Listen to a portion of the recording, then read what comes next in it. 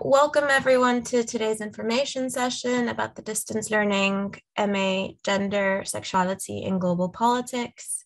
Uh, my name, as Amy just mentioned, is Shrita and I'm the course convener for this MA. Uh, I'm going to talk you through the structure of the course and what's different about distance learning today, and then we can um, have a little Q&A session at the end. Uh, so let me start by introducing distance learning and how it's different from on-campus teaching. Uh, yeah, as Amy just mentioned, if you have any questions, please feel free to put them in the chat um, while we're going through this presentation. So what is um, the difference between distance learning and on-campus teaching. So distance learning is a form of independent study. Uh, it happens purely in an online virtual space um, and it's centered around online discussions. And what's really appealing about distance learning is that it's very, flexible and it's mostly suited for people that have um, other commitments while they want to learn as well. Um, so you can study at your own pace um, and you can study um, according to your own needs. Normally, all the modules are around 16 weeks. And um, during these 16 weeks, you're um, pre-given some reading material as well as questions for each particular week and the theme that each week is going through. And you'll be expected to engage with the reading material in an online discussion forum, as well as engage with some of the assessments that are expected. So there are around um, six uh, assessments that will take place and each the each the point of each assessment is that it builds your skill so that by the end you're able to produce an incredible written essay. Um, along with the online forum uh, we're also in gender studies. We also offer four to five online thematic seminars which is um, a rare occasion where you can come together uh, on Zoom with a lot of your colleagues and peers and have a discussion around the topics that are covered.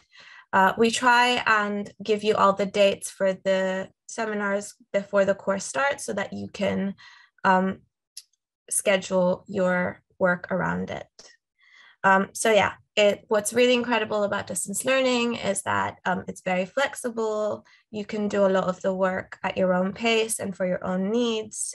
Um, and that's what really distinguishes it from on-campus learning, which can sometimes be quite rushed and um, students are kind of forced to engage with material according to um, the on-campus requirements, right? And that's what's really different for distance learning.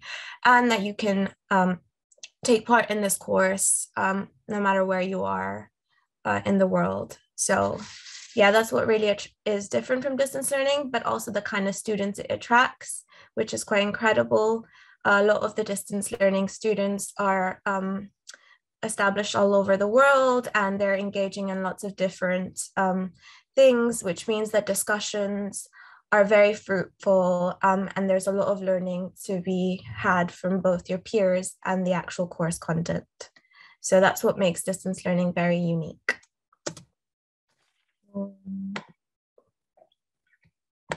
So, what is the SOAS approach to gender studies?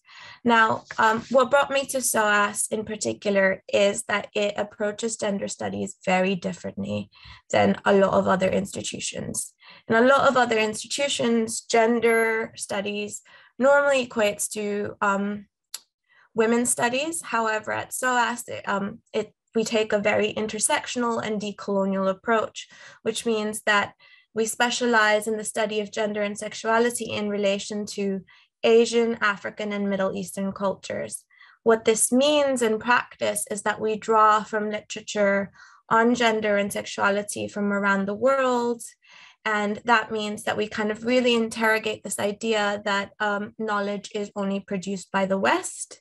And a lot of the material we cover challenges Western ideas around gender and sexuality. Um, so that's really a unique approach of gender studies, which means that we kind of don't understand gender as just women, but also we take an intersectional approach, which means that um, we kind of interrogate how gender, race, class, location, disability are all connected to each other. Um, so there is something very unique about the way gender studies is taught at SOAS, um, which kind of isn't really found anywhere else.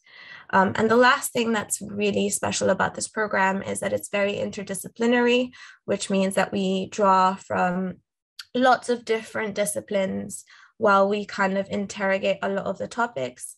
So we draw from political theory, from anthropology, from law, um, from media studies, and we kind of like bring all these different strands together to understand the different ways gender is understood in different regions and stuff.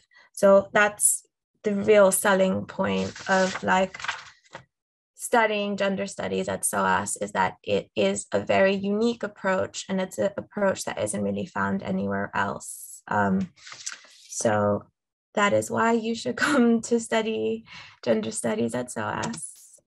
Um, so I'm going to talk you a little bit through the actual MA in gender, sexuality, and global politics and how it's actually structured and how it runs. So it's a two-year program um, where you're expected to take four modules altogether over the course of the two years. Each module is around 16 weeks long um, and there are two study sessions per year, so you are expected to take two modules in a year. Um, so over the course of the two years, you will have completed the four modules that you're expected to take. Um, there are three compulsory core modules, which you will be expected to take. And once you've done the three core modules, there'll be one elective one at the end. Um, and you can you can pick. So you can pick a module from all the online um, dis- distance learning courses SOAS provides, which are quite a few. So you can pick one from development studies, from media studies. Um, so there's lots of options available when you do come to your final elective module. Um, so the three core modules that you're expected to take are gender, sexuality, and global politics, gender and social inequality, and gender and conflict in the Middle East. Um, so depending on when you start, um, one of these core modules will be available. In addition to this, you'll also be expected to do uh, in your second year a compulsory, compulsory dissertation module. Um, this module will just give you the skills um, and guide you through how to carry out an independent research project because at the end of the two-year program, you'll also be expected to write a dissertation. Um, so the point of this module is to guide you through and give you the skills to be able to produce a dissertation. Um, so a little bit about the entry requirements. Um, so I'm not the admissions person, so I know very little about it, um, but I'm sure Amy will be able to answer some of the questions you might have around this. So um, the expectation is that most people that apply will have an upper second class honors degree or an equivalent, depending on where you're applying from around the world. Um, and we encourage applicants to have an academic degree in gender studies or any other degree in humanities or social sciences. However, this isn't a key um, requirement as long as you demonstrate an interest in gender studies. Um, without these qualifications, you'll still be considered for admission. Um, so don't be too stressed if you haven't done a gender studies program or a program in humanities or social sciences. We currently actually have um, a student that studied um, medical science in their undergraduate and uh, wanted to do a degree in gender studies. So um, we definitely do accept students that have an interest in gender studies, but haven't studied it before. Um, finally, who is this program for? So um, the MA program um, is very flexible. So it's designed for recent graduates as well as professionals who are working alongside doing the degree.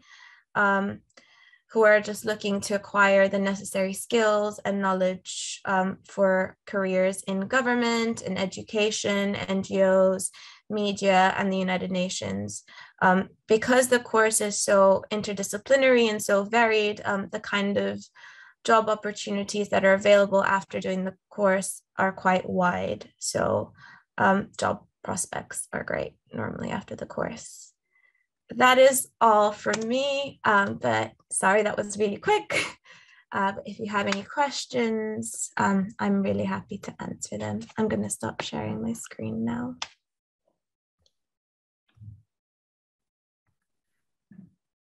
Great, thank you, uh, Shrita. That was a really uh, useful overview um, of the online and distance learning gender studies program. Um, so we've got some uh, participants in the session today. So if you have any questions, um, feel free to pop them into the chat box. Um, you can also unmute yourself if you would like to ask verbally, um, but just to note that we are recording um, the session today that will be sent out to other students. So you may prefer to put your question into the chat box.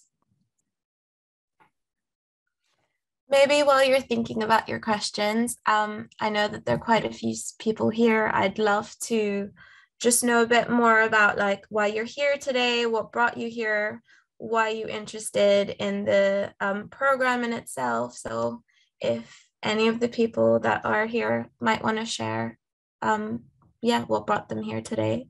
And maybe we can use that as like a springboard for questions or a springboard for knowing more about the program. Don't want to put you on the spot, but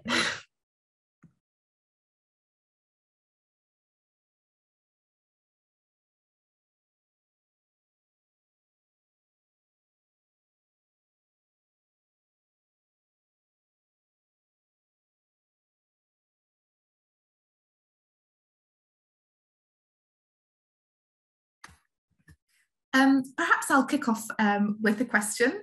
Um, it's just around um, access to obviously the library. So the library is, is you know, a fantastic resource for SOAS. Um, so how does it work then for online and distance learning students? Um, do they still have access to online resources that will help them with their studies? That's a great question. Um, so distance learning students have access to um, two different kinds of online libraries. So the first one is the online resources available at SOAS. And during the pandemic, actually, SOAS actually shifted a lot of the material that they had online, which means that there is a lot more accessible online than there previously has been. But um, in addition to having access to the SOAS online library, students also have access to the University of London online library, um, which collates um, resources from universities around London as well. So there's a lot of um, resources that are available. And um, as part of the MA program in gender studies, a lot of the core reading that is required is already uploaded onto the VLE page, which means that students don't have to go searching for it. Great. Yeah, no, that sounds great. And as you mentioned, um, access to the University of London Library um, is also a great benefit um, for any students who study with us. Um, and a question I do get from a lot of students um, is around age restrictions. Are there any age restrictions for um, students um, studying a, a degree, especially online and distance learning? And I mean, you said that there was a great mix of students from all around the world. So I'm guessing it is a very diverse mix of students who take up online and distance learning. Yes, it definitely is. There is no age restriction. Um, there tends to be, as you just mentioned, a diverse background. So the cohort from this year, for example, ranges from uh, someone that just finished their undergraduate degree to uh, someone that is in their 70s and retired but wanted to learn something new. And it's incredible the kind of discussions this kind of brings up is that people bring up conversations from not only their experiences in their life but also the kinds of jobs that they've done and how that like affects discourses so it's something very unique to distance learning is having such a diverse like age range but also um, other kinds of backgrounds, which means that the knowledge we can gain from each other is very vast and incredible and very unique to distance learning. Yeah, absolutely. Um, I reckon it is, yeah, a really diverse mix of students. So I think that the discussions uh, will be very fruitful.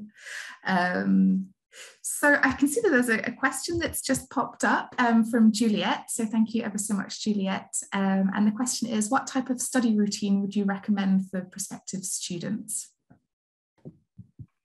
So this is a very difficult question to answer because it really will depend on what your other commitments are. So what's very incredible about the distance learning program is that it's very flexible. So depending on whether you have a part-time job or a, or other commitments, you're able to um, kind of navigate your study routine depending on that um, the ideal study routine, in my opinion. So there's like 16 weeks. Each week has around two to three core readings, um, as well as a discussion forum. And so if you can, and this is what I've been recommending to a lot of my students, is to try and do um, all the readings every week rather than piling them up and trying to engage in the conversation because they the topics build on each other every week. And so it's quite difficult to just do week six without doing week one, for example. So the recommendation is to try and um, read as you go along each week, but uh, that's not an expectation, it's not a requirement, it's just a recommendation. Um, yeah, I hope that helps.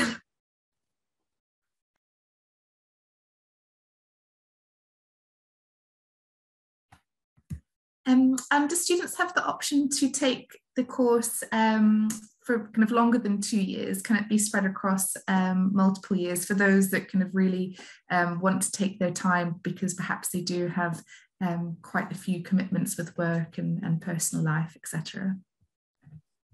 Um, so the two years is not set in stone. Uh, you can finish your degree slightly quicker if that's something you want, or you can also take longer as well. Um, what happens is that a core module is offered per study period. Um, and that means that even if you've missed a particular study period, it will be offered again, so you can retake it when it's um, comes about again. So you can definitely spend longer than two years uh, or shorter than two years, depending on um, yeah, how do you want to finish your program. Great. Yeah, it sounds really flexible. And I think for students who, you know, do have those commitments like a full-time job um, and who aren't able to take any um, study leave to come and do an on-campus master's. And I think, yeah, it's it's a great option um, for students to be able to work um, and study part-time. Um, and then just perhaps one more question from me. Um, how many students do you typically get kind of you know each kind of intake period um, just thinking about the, discussions that students will be having how many students um, would you normally have in, in those discussions. So the current um, module that we're running is the gender sexuality and global politics uh, module. And that currently has around 36 students. Um, and so some of them are just from the program, but also this program is um, offered as an elective for people doing a degree in uh, an online distance degree in other disciplines, so development or media as well. So um, that means that you can have people part of the discussion that have come from also different discipline or trajectory, which is great because the way they might understand gender might be different. Um, I see that there's another question in the chat. Um, which says, Are there deadlines, exams, and other forms of evaluation? Um, so there are no exams in this MA program. There are uh, there are assessments. So we call them activities, and there's six per module. Um, and the deadlines for them are given to you prior to the as soon as the module starts, so that you can um, plan around it. Um, so there are six activities. Uh, they all kind of help build your skill towards the final activity, which is activity six, which is a 5,000 word essay. Um, and the essay questions will be given to you beforehand as well. And the idea of activity one to five is to kind of help you start getting writing your essay. So they kind of build on that. So it's all kind of connected. Um, but yeah, so the main form of grading is through the activities um, and I might just post some uh, links into the chat sessions, uh, into the chat box, sorry. Um, and if any of the participants um, want to find out more, then, um, then you can do so.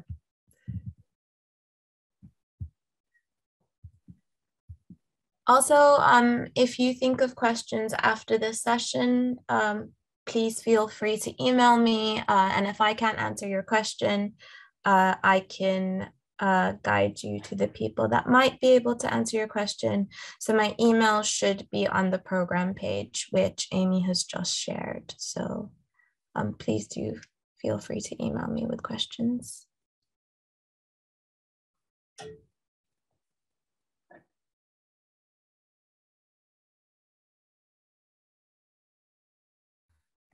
Um, okay, um, I guess if there's no um, no more questions from the participants, um, then we might end the session. Um, but as Shrita mentioned, um, you if you do have any follow-up questions on the program, um, then you are more than welcome to drop her a line um, and she'll get back to you. So um, I guess we'll end the session now. So thank you ever so much um, for joining the online open day this evening. It's been really great uh, to connect with you and hopefully you found it an informative session and we look forward to hearing from you soon. And thank you ever so much to Shrita as well for a really great presentation and for answering those questions. Thank you so much, Amy. And hopefully I'll see all of you in the classes next year. Um, well, in April. Great. Thanks ever so much um, and take care, everybody. Okay. Bye. -bye. bye.